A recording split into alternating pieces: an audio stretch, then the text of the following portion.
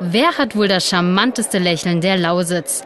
Eine schwere Wahl für die Jury, war doch jedes Lächeln schöner als das andere. In den vier Kategorien konnte es halt jeweils nur einen Gewinner geben. Janis Garibov ist einer von ihnen. In der Kategorie Einzelporträt belegte er den ersten Platz. Dabei hat er sich noch nicht mal persönlich angemeldet. Das hat ein, ein Freund von mir für mich eingereicht. Er meinte, ich soll das, ich soll das so machen und ich habe mitgemacht. Für solche Freunde kann man doch nur dankbar sein. Und das ist Janis Garibov. Von LTV bekam er nämlich zwei Gutscheine für eine Freifahrt mit Erlebnisballon Prautsch.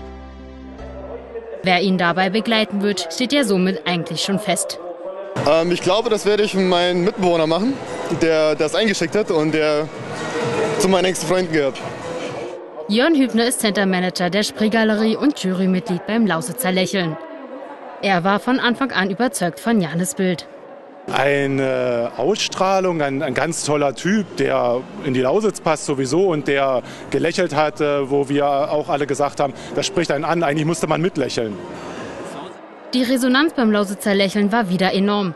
Exakt 1082 Lausitzer nahmen teil. Da war es sowieso schwer, die richtige Wahl zu treffen. Gewisse Kriterien mussten daher erfüllt werden.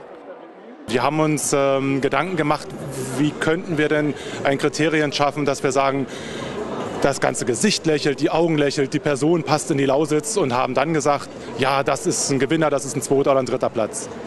Abgesandt wurde vieles, unter anderem eine Kierer Rennbahn, Gutscheine von Sparkasse Spree-Neiße und der Tanzschule Fritsche.